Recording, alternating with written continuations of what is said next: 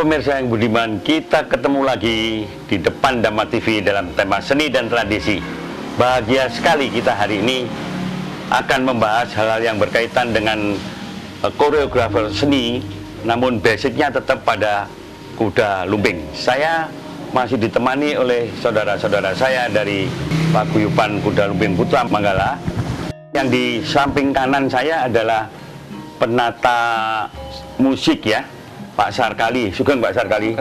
Ye, dan di sebelah depan saya itu ahli tarinya yaitu Pak Agus Pesi. Sugeng Pak Agus. Rahayu. Ye. Kemudian saya dimasuk dampingi juga para penari sekaligus juga pelatihnya Mbak Ayu, Sugeng Mbak Ayu. Ye, dan di samping Mbak Ayu ada penari-penari yang cantik-cantik ini, ini Mbak Lila, kemudian Mbak Meli, lalu Mbak Nikah. Nanti satu persatu akan kami tampilkan pembicaraan dengan mereka-mereka ini. Para pemirsa, karena ini suatu kre- kreativitas seni, walaupun basicnya eh, kuda lumping, ternyata mereka bisa menggarap hal yang berkaitan dengan tari Sri Kandi Mentang Panah. Di mana pada umumnya kalau kita bicara tentang Sri Kandi, pengetahuan para pemirsa tentunya berkaitan dengan wayang orang atau wayang kulit. Namun ternyata di eh, Paguyuban Kuda Lumping Putra Mandala ini juga membuat kreativitas yang agak berbeda. Dan ini yang akan membawa dampak positif pada kemajuan kesenian Putra Mandala termasuk prestasi yang diperolehnya. Saya akan ke Pak Sarkali lebih dulu. Ya, Pak Sarkali. Saya dengar ini ada kreativitas seni yang berkaitan dengan tari yang agak menyimpang Iya. yaitu tentang tari Sri Kandi Mentang Panah yang basicnya itu tentu purwonya wayang orang Iya. pada saat itu digarap apa pemikiran Pak Sarkali sebagai penata musik monggo silakan Ngeten Romo. Penataan musik sendiri saya harus memahami betul gerak dan tari tersebut dan baru setelah saya memahami dan mengetahui geraknya beberapa versi saya harus bisa eh, menata komposisi musik tersebut. Oh, jadi diawali dari gerak tarinya dulu, Ya. baru ke musiknya, Ya. komposisinya. Ya. Oke, terima kasih Pak Sarkali. Dan selanjutnya saya langsung saja kepada Pak Agus Pesi ya, Pak Agus Pesi. Sebagai pimpinan koreografer di sini ya, Pak Pesi ya. Apa pemikiran Pak Pesi pada waktu mau menggarap tari Srikandi Mentang Mana? Monggo. Iya. Penggarapan Srikandi Mentang Panah atau Mentang Gendewa ini saya awali dari kreasi baru yang intinya seni kuda lumping itu penari khususnya penari kuda itu nggak harus membawa properti pecut. Jadi Seperti itu ya. iya intinya jadi bisa membawa keris atau kapak. Jadi penari kuda itu seperti itu. Jadi penggarapan ini tak luput dari gondok-gondokan sesama teman. Jadi ada omongan yang nyekit atau yang apa itu tapi demi kebaikan proses ini mungkin bisa diterima gitu loh Oke, makasih. Para pemirsa sekalian, memang di dalam menciptakan suatu kreasi itu tidak mungkin bisa berdiri sendiri. Karena saya perhatikan dari paguyuban eh, kesenian kuda lumping Putra Mandala ini, ternyata yang lebih diutamakan adalah eh, kebersamaan di situ. Saya akan ke Mbak Ayu ya, Mbak Ayu yang saya rasa sebagai pelatih langsung ya kepada penari-penarinya karena saya lihat penarinya putih semua ya Mbak Ayu ya.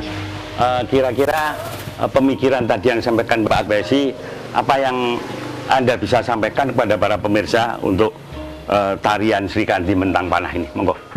Eh, pada umumnya sih kita masih me- ingin melestarikan kesenian tradisional khususnya untuk eh, kuda lumping.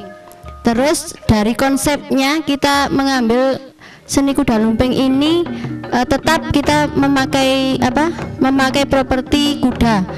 Terus untuk eh, karyanya agar lebih baru kita memakai propertinya itu memakai panah. Eh, jadi bukan hanya kita memakai pecut kalau eh, jadi tidak monoton tidak monoton selalu memakai pecut begitu. Jadi eh, ada yang memakai panah kita juga bisa naik kuda itu juga bisa memakai membawa senjata misalnya keris membawa tombak juga bisa. Terus mm, pada khususnya kita s- mem- memperkenalkan karya ini yaitu ini kebersamaan. Nah, jadi eh, dari awalnya kita memasukkan satu penari. Nah, satu penari ini eh, inginnya mencapai sesuatu itu tidak bisa kalau sendiri. Jadi ya bisa tapi eh, masih ada gangguan apa-apa. Tapi kalau kita lakukan secara bersama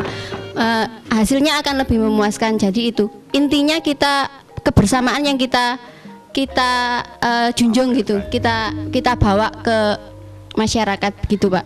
Matur nuwun Mbak Ayu. Para pemirsa, ini sebuah pelajaran yang sangat indah. Di dalam paguyuban yang sangat sederhana, yang namanya Putra Manggala ini ternyata yang diutamakan adalah masalah kebersamaan. Di dalam hal eh, kreativitas seni pun mereka melalui cara secara bersama-sama bergotong royong juga bisa menerima eh, saran-saran dari teman-temannya, para penarinya, para pengrawitnya dan karena kebersamaan inilah yang tadi menurut Mbak Ayu maka hasilnya akan lebih maksimal dan akan menjadi lebih baik. Jangan ke mana-mana para pemirsa masih berada di depan Dama TV.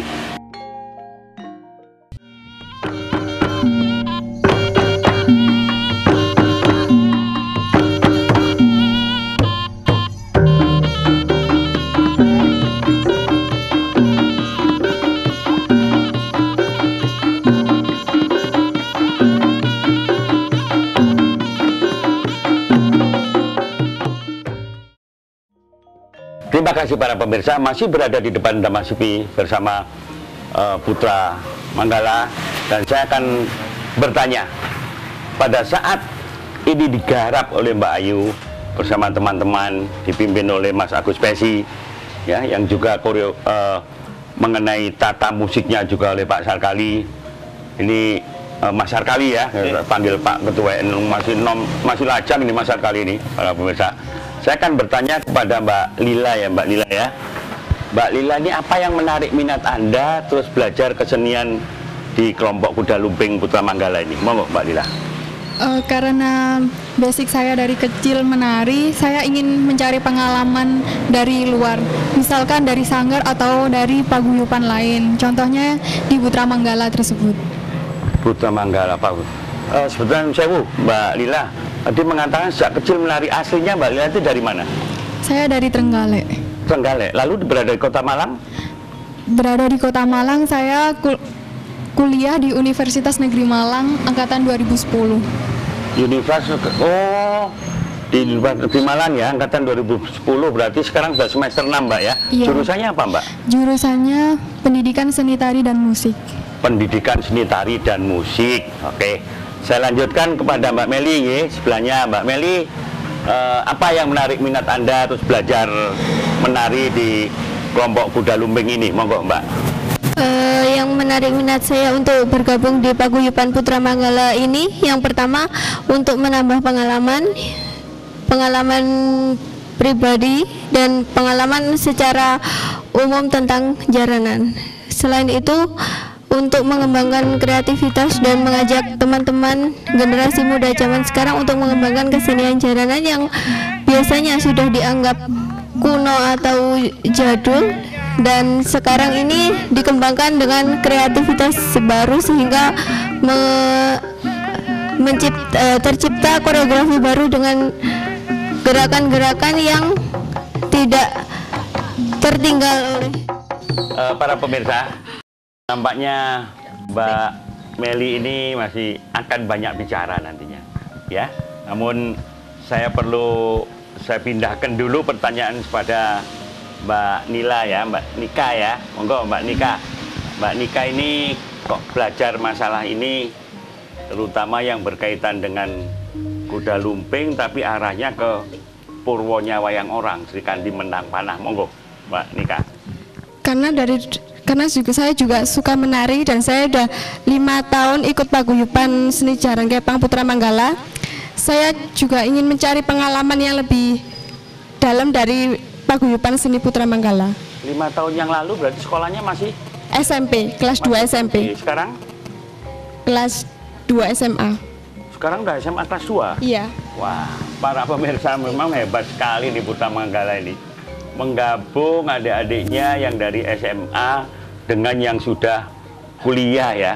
Mbak Meli sekarang udah semester berapa Mbak?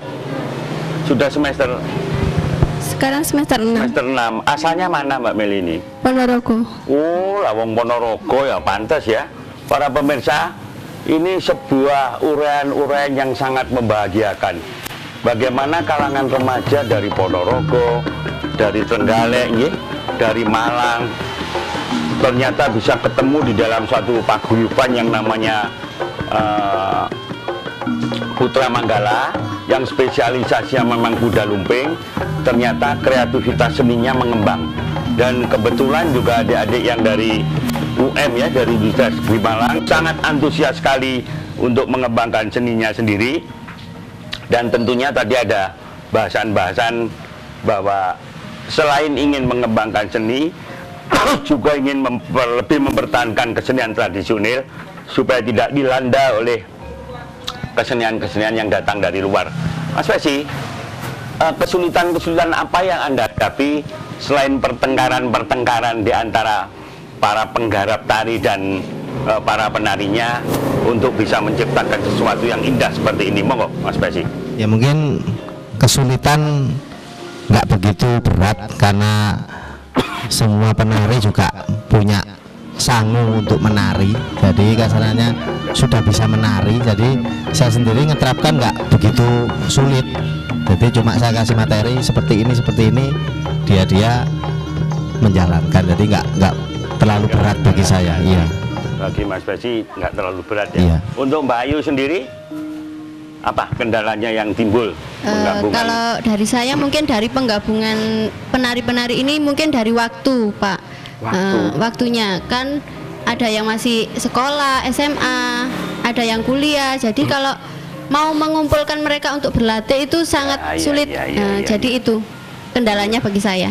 Kalau dari materi ragam untuk penyampaiannya ke mereka sudah eh, lumayan, sudah lumayan bisa eh, enak penyampaiannya. Enak penyampaiannya ya, Iya. karena masing-masing sudah punya basic tari, Iya. sehingga tidak terlalu sulit ya. Tinggal termasuk pada saat menari ada tambahan-tambahan atau usulan-usulan dari penari ya, termasuk dari penata musik supaya itu lebih indah hasilnya. Oke, para pemirsa, kita masih akan ketemu di segmen terakhir ketiga yaitu eh, karena itu saya mohon para pemirsa jangan bosan-bosannya berada di depan Taman TV.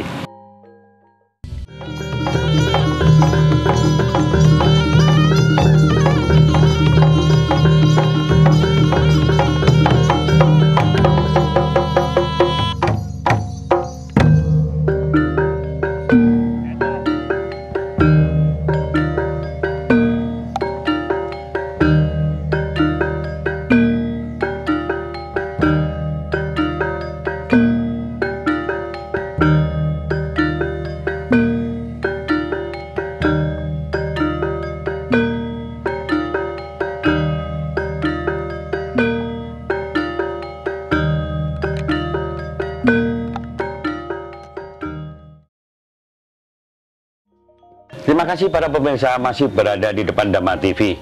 Kita masih akan melanjutkan pembicaraan masalah eh, koreografer seni tadi yang eh, sebuah tarian yang namanya Sikandi Mentang Manah. Saya ke Pak Ma, ke Mas Arkali dulu ya Mas Arkali ya. Pada saat digarap kemarin yang waktunya menurut Mbak Ayu tadi pendek karena kesulitan mengumpulkan orang. Kemudian bagi Mas Arkali juga eh, apa itu menunggu dulu bagaimana gerak-gerak itu baru di sini digarap. Pertanyaan kami pada saat Mas Arkali nggarap eh, musiknya, apa ada kesulitan-kesulitan Mas? Ya kesulitannya kami diskusi bersama karena tari itu kan kita harus mengisi mengisi gerak dan kita harus bisa menjadi roh roh itu kan rasa penari naik turun tempo dengan pengomposisian mulai dari intro sampai ending kan harus harus seirama ya. Aduh seirama ya. Ya. Iya. Pertanyaan saya mas, apa Mas Arkel sendiri bisa menari nggak? sedikit banyak Oh sedikit menarinya ya. Karena tadi rasanya eh, apa itu uraian Mas Arkel tadi saya bisa menangkap seakan Mas Arkel sendiri mengerti menari gitu loh. Ya. Karena menyangkut masalah irama tadi ya. Ya. Irama tari karena di dalam hal menari itu ada tiga yang pokok Ya. yaitu pertama penari itu wirogonya ya gerak tarinya ya kemudian wiromonya mengerti musiknya gamelannya lalu wiroso bahwa menari itu keluar dari hati nurani yang paling dalam saya kepada Mbak Ayu ya Mbak Ayu jadi karena tadi Mas Arkali menunggu gerakan pada saat menciptakan ini bersama Mas Agus Pesi konsepnya tertulis nggak Mbak Ayu monggo Eh, karena waktunya terlalu pendek kita eh, kita menggarap tarian ini kan khususnya buat ini buat festival Jaran Oh, Kepang tahun karena- 2012 eh, do- 2013 Pak. ya. Eh, eh, jadi kita mas kita hanya dikasih waktunya itu satu minggu. Jadi kalau misalnya konsepnya harus kita tulis dulu, ah, itu masih memakan waktu yang lumayan panjang. Jadi kita mempunyai apa ragam-ragam banyak ragam. Kita kan eh, sering melihat li- melihat melihat karya tarinya orang gitu eh, pementasan-pementasan banyak kita lihat jadi eh, ragam-ragamnya itu kita masih ada jadi kita menggarap ini langsung eh, kita me- merangkai ragamnya terus kita cari musiknya merangkai ragam terus mencari musiknya Oh, jadi gitu setiap jurus setiap jurus gitu ya. Iya. Inggih. Mbak Lila, waktunya menurut Mbak Ayu tadi pendek seminggu.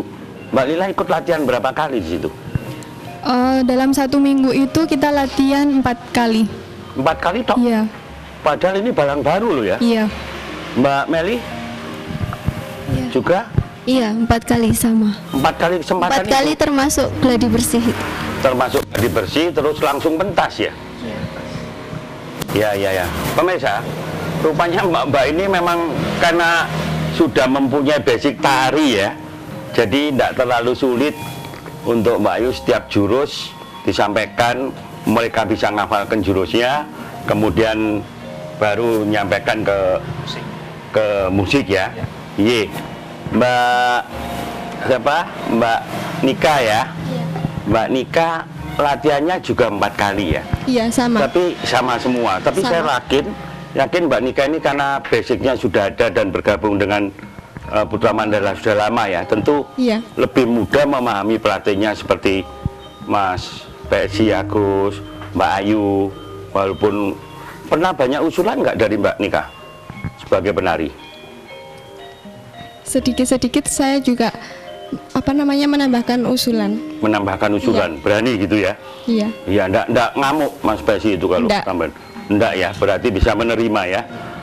Para pemirsa, memang ini hal yang unik buat saya. Karena dalam waktu satu minggu, empat kali latihan bisa memproduksi sebuah tarian. Itu sangat eh, istimewa sekali. Bahkan langsung diikutkan festival gitu Mas Basi ya. Eh, berapa hari yang lalu festival itu dilakukan? Festival itu dilakukan pada hari Sabtu tanggal 16. 16 ya. Iya.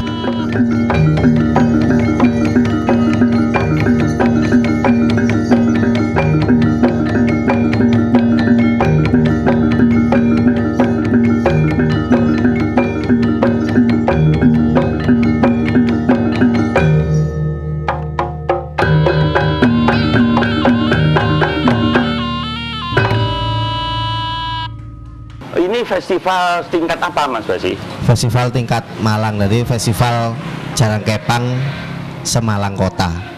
Diikuti berapa? Kurang Kelompok. lebih 22 peserta grup. 22 peserta grup. Iya. Oh, dilaksanakan terus pelaksanaannya sistem panggung atau sistem Ya, terbuka? ya, karena penilaiannya sistemnya panggung, jadi koreografer dan blocking itu di harus disesuaikan. Jadi Sesuaikan blockingnya ya. harus blocking itu harus ada dan kebetulan Putra Manggala meskipun mepet untuk latihan tapi kita juga memperoleh penyaji terbaik Penyaji terbaik malah Penyaji ya. iya. Oke, itu nanti akan kita bahas di episode berikutnya ya, Mas Besi. Cerita suka dukanya pada waktu mengikuti festival. Para pemirsa, rasanya tidak kecewa. Kita mengangkat ke permukaan tari Sri Kandi Mentang Gendewo walaupun itu berdasarkan basic dari purwonya wayang orang atau wayang kulit ternyata kuda lumping jaran kepang di Putra Mandala ini bisa sukses untuk mengikuti festival. Bagaimana hasilnya festival itu nanti akan kita bahas pada episode berikutnya. Untuk kali ini saya akhiri sampai di sini dulu. Rahayu. Matur nuwun.